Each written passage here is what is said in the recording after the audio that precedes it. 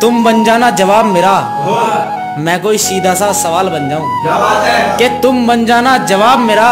मैं कोई सीधा सा सवाल बन जाऊँ। काश इस होली तुम्हारे चेहरे पर लगने वाला मैं गुलाल बन जाऊँ।